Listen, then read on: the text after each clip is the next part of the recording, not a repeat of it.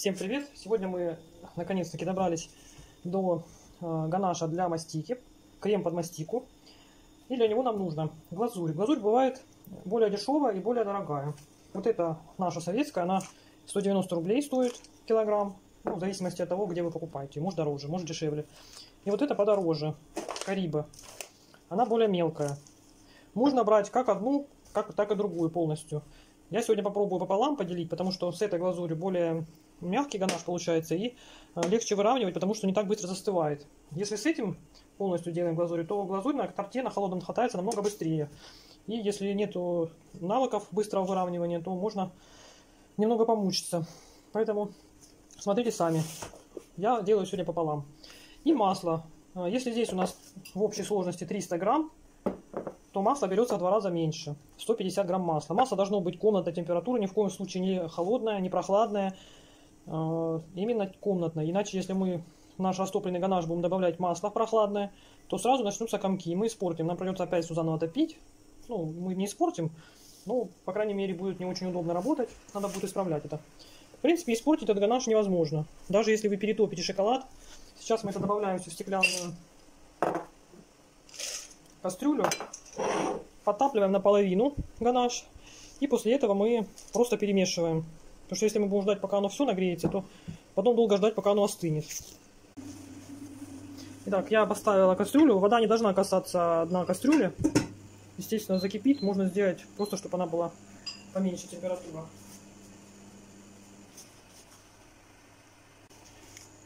Вода уже закипела. Мешаем нашу глазурь. Конечно, если вы растопите и ну, не угадаете температуру, если у вас она ну, тепленькая уже стала глазурь после растопления, то если у вас температура стала очень горячая, ну, была еще более горячая, масло после того, как вы кинули в глазурь, сильно растопилось и стала жидким ваша смесь, не страшно. Подождете, она остынет, также забивайте миксером, и все будет хорошо. То есть, если даже вы растопили масло в глазури, в этой, ничего страшного нет. Некоторые то свернулось, ой, то, ой, что-то с ней не то. Просто ждете, пока остынет, и все. Ничего страшного в этом нету. Ну, естественно, если оно совсем остыло, то вы масло уже сюда не мешаете. То есть в любом случае можно растопить даже с маслом полностью, подтопить, опять дождаться, пока оно все растопится, а потом остынет, и тогда взбить миксером. Если у вас после выравнивания торта осталась глазурь, уже готовый ганаш этот с маслом, и вы, естественно, его не выбрасываете, вы ложите его в лоточек, закрываете крышкой плотно и отправляете в морозилку. После того, как она у вас там постояла, замерзла, вам нужно следующий торт, вытаскиваете. Можно оставить при комнатной температуре постоять, чтобы она стала мягкой. Можно также опять пробить миксером до однородности. Можно в микроволновке несколько секунд растопить, опять пробить миксером, и у вас будет готовый ганаш. То есть, если хотите быстрее, можно заранее вообще сделать ганаш, но потом просто его привести в рабочее состояние. В принципе, вот нам хватит топить, иначе нам придется долго ждать. Все, теперь мы ждем, пока глазурь остальная подрастопится, мы ее перемешиваем периодически и ждем, пока она достигнет примерно ну, 32-33 градуса. Ну, чтобы она была такой температуры, чтобы масло наша не растопилась вообще полностью. Даже если вы и растопите масло, я же говорила уже, что не страшно. Подождете, пока остынет, забьете, и все будет окей. Итак, ганаш уже подостыл. Но я думаю, что нет смысла ждать даже до 32 градусов. Я чувствую, что на 38 даже уже нормально. Я никогда не засекала, а вот решила засечь. Поэтому... Если нет термометра, попробуйте рукой. Она должна быть теплая. Кастрюля. Так. Естественно, когда он остывает, стараемся счищать со стенок, потому что это будет быстрее хвататься. И тогда у вас могут быть слишком жесткие крупинки.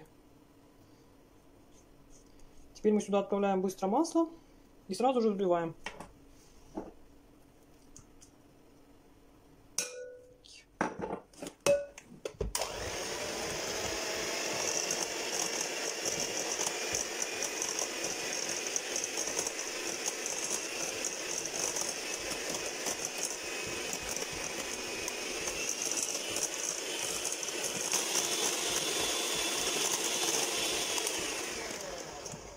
периодически останавливаю миксер и счищаю со стенок.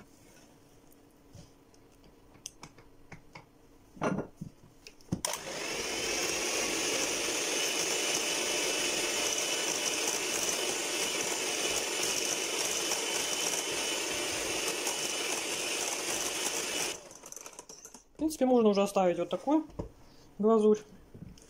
Естественно, глазурь, эту ганаш можно сделать на любом на любой глазури, также на шоколадной, на коричневой. Если шоколадная начинка, я делаю на, шоколад, на шоколадном э, глазури. Если белая начинка, то делаю на белом шоколаде. Ну, тут, в принципе, правил нету, но мне так больше нравится. Можно еще немножечко совсем сбить, тогда будет вообще прекрасно. Ну, она даже если так вот ее оставить в комнатной температуре, она чуть-чуть стабилизируется сама. Торт у нас должен быть охлажденный, чтобы нам было удобнее работать, и он быстро застывал в глазурь. Итак, наш холодненький тортик мы вытащили. Вооружимся такими инструментами.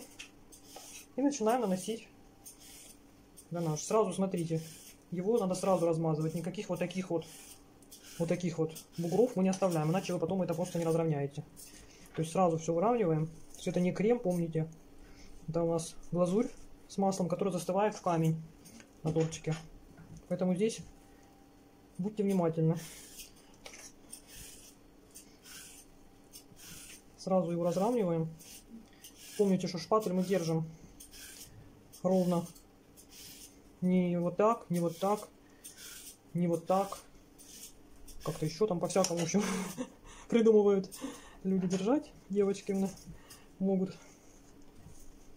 Э, движение у нас только вот так, стороны в сторону, чтобы у нас идеально выравнивался сразу торт. То есть одну, один край мы прижимаем и проводим. Если другую сторону хотим провести, также этот э, отрываем, а этим, этим проводим. Если будете возить вот так вот, то просто будете рвать торт. Ну, это быстро можно привыкнуть. Пару тортов выровняете и все будет прекрасно. Этим шпателем мы можем себе тоже помогать, но это со временем, когда уже основной базовый слой у нас нанесен. Вот это э, количество 300 грамм глазури, 150 масла хватает на один тортик. Также не забываем, что вот эти вот сверху у нас остаются такие кусочки крема, их тоже сразу желательно слизывать так шпателем, снимать. То есть этого количества хватает на один торт, который у меня 22 сантиметра.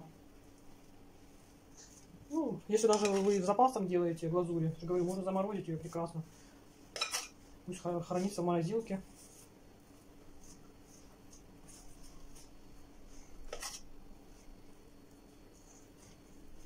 И таким методом мы выравниваем торт.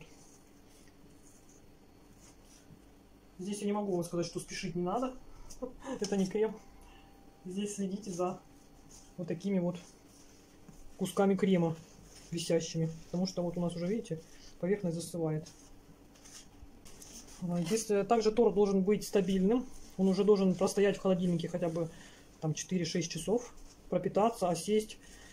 А, если, конечно, у вас времени, может быть, не хватает на такое, и, в принципе, начинка стабильная, как, например, у этого торта, красный бархат торта. И вы начали выравнивать, у вас, может быть, вот так вот пошли трещины. Для такой стабильной начинки это не смертельно. Можно оставить и с трещиной, под мастикой это видно не будет. Можно потом еще промазать эту трещину. Ну, опять же, под мастикой этого сильно не видно. Там, если у вас не тонюхонький слой, конечно, прям мастики, тогда этого видно не будет.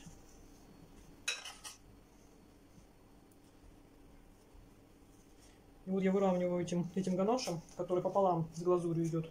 Более дорогая, более дешевая. Я вижу, что легче работать. Он не так быстро хватается, как если бы сделали на более дешевой глазури. То есть это вам такой лайфхак. Особенно если вы новичок, то будет попроще работать. Так, мы убираем все излишки крема, сразу не забываем. Если вдруг вы значит, выравниваете, и у вас все-таки остаются такие какие-то выступы из крема, не страшно, можно горячим шпателем, ну хоть пальцем, просто вот так вот теплой рукой, вот так вот поводите несколько раз, и сгладите всей шероховатости.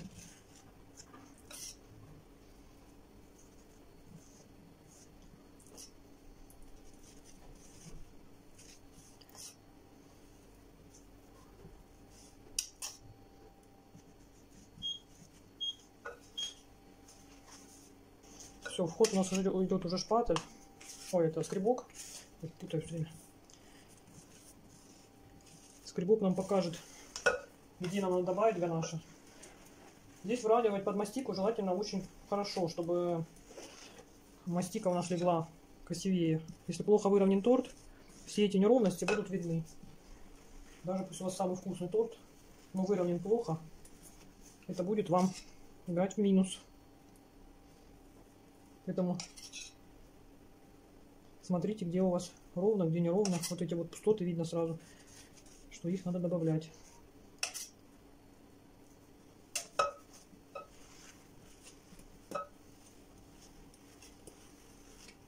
Так, забываем про верх.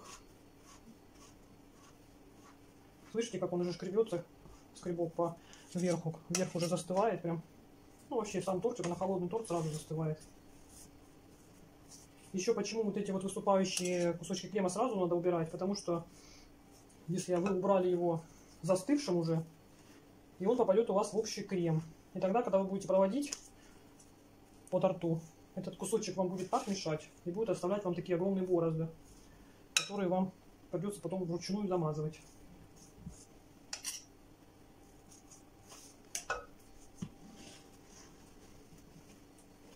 Удобнее, конечно, пользоваться поворотным столиком, конечно же. Или если нет поворотного столика, возьмите стеклянную тарелку из-под микроволновки. Она даже, кстати, очень неплохо крутится сама вокруг себя. Я ее иногда использую, ну, я в основном ее использую при велюре торта. Если надо покрутить, что деревянный потом не отмоешь, или застилать его там пленкой неохота, а стеклянную тарелку можно легко помыть. Даже мне этого крема будет много. Больше останется грамм 100. Ну ничего. Сильно толстый я тоже не делаю, потому что еще мастика будет. Чем хорош этот э, ганаш, этот крем под мастику, тем, что он не приторный такой, ни масла не слышно. Масло всего 150 грамм. То есть, если вы просто масло со сгущенкой будете делать, то это будет, во-первых, ждать, пока застынет это масло в холодильнике. Во-вторых, вы пока будете с ним работать уже он будет мягчеть. Вот этот вот уже застыл на холодном торте. И все. И уже не липнет даже. Прекрасно можно обтягивать мастикой. Так, последние неровности у нас. И, в принципе, торт мы выровняли.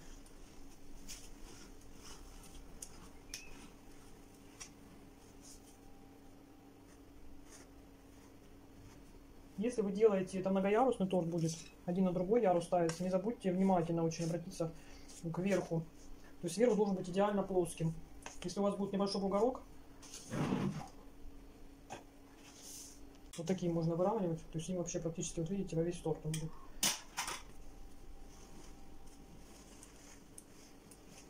Все, тортик мы выровняли. Теперь мы убираем холодильник и пока будем заниматься мастикой. Это у нас будет в следующем ролике, как обтягивать мастикой, как делать мастику. Здесь у нас принципе все готово под мастику.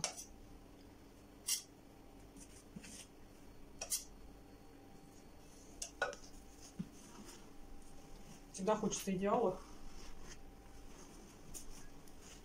Ну, вот этого уже достаточно под мастику. Все, убираем холодильник. Ну что, готов.